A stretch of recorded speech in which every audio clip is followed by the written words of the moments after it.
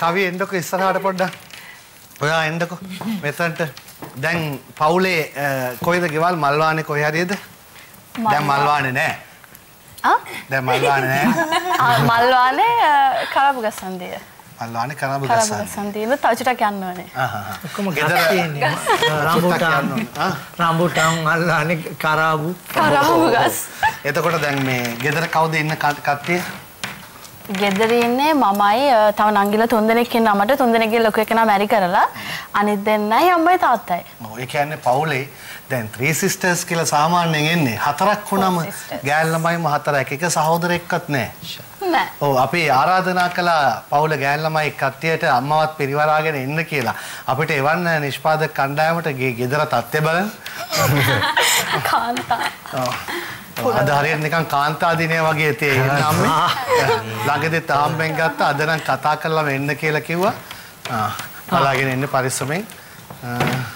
එන්න මෙතනට අම්මේ මේ පිළිවෙලට ඉන්න බලන්න මෙතනට ඇවිල්ලා පිළිවෙලට ඉන්න පොඩි පිළිවෙලට පොඩි බ- බ- අම්මා අන්තිමට. ඔයා මෙතෙන්. මේ මේ පැත්ත මේ පැත්ත. ඔයා මෙතන. ඔයගොල්ලෝ දන්නේ නැද්ද ගෙදර පිළිවෙල?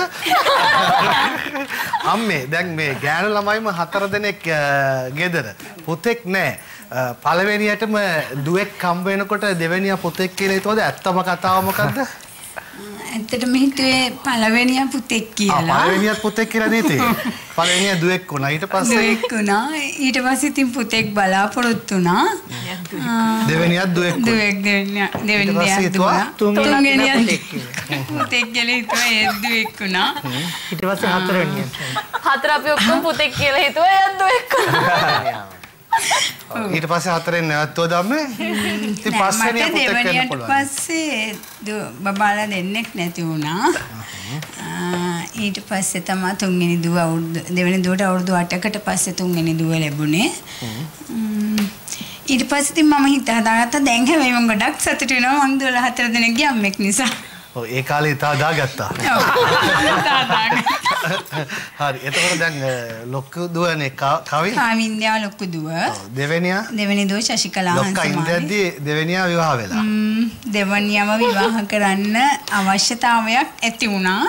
ඕනෑ බෑ නෙමෙයි. අවශ්‍යතාවයක් වුණා. එයා අසනීප වුණා පොඩ්ඩක්. එළවල් ඉවරලා කෝස් එකක් කරලා ඉතින් එයාව මැරිකෙනවා. එයා යාළු වෙලා හිටියේ. පෑ එකක් තිබුණා.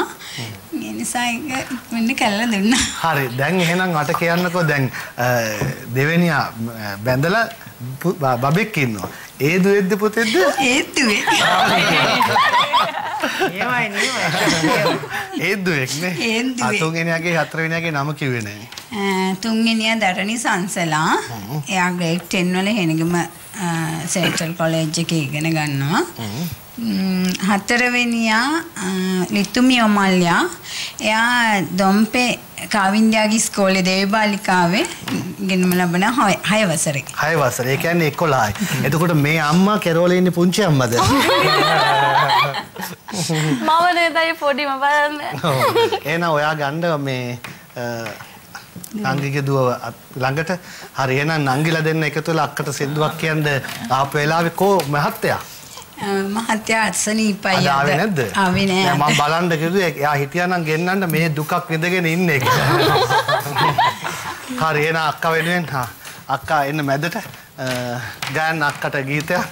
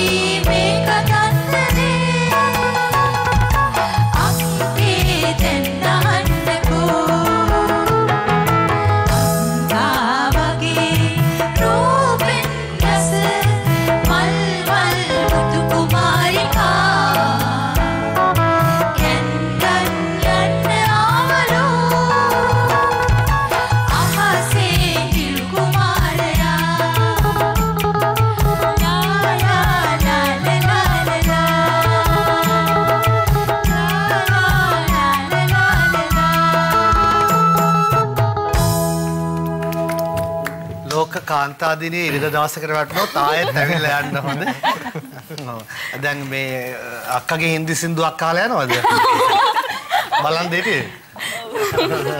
බබා බය වෙයි. බබා බය හොඳයි බොහොම ස්තුතියි අම්මේ කට්ටිය එක්කන් ආවට. ගොඩක් ස්තුතියි. ස්තුතියි අපට අවස්ථාව ලබා දුන්නට රංගනටත් අද වෙලා ඉන්න ඔක්කොටමත් දැන් මේගොල්ලෝ දුන්නේ අවස්ථාව. බොහොම ස්තුතියි හේරා. පරිස්සමින් දෙන්න. නැවතිලා